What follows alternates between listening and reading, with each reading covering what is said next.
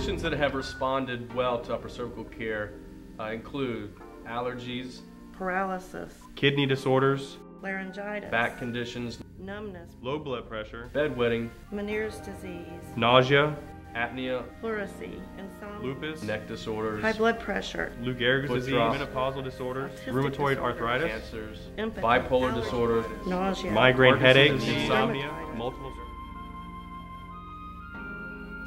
So, who can upper cervical help?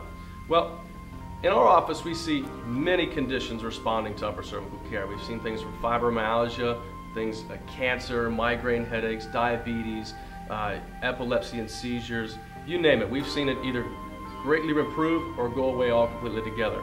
But I want you to understand one of the biggest misconceptions in our profession is, that we're an alternative treatment, that we cure things and we fix things and we treat conditions. Um, chiropractic, a lot of times, is also lumped in the fact that we're just neck pain, back pain doctors. And nothing could be further from the truth. Upper cervical chiropractors do not cure or fix anything. Our main focus is the central nervous system and the function of how your body is self healing. So understand that the brain has the most amazing healing power in it. And as long as that healing wisdom can flow from above down and get to every single part of your body, the body will rebuild and keep itself healthy on its own.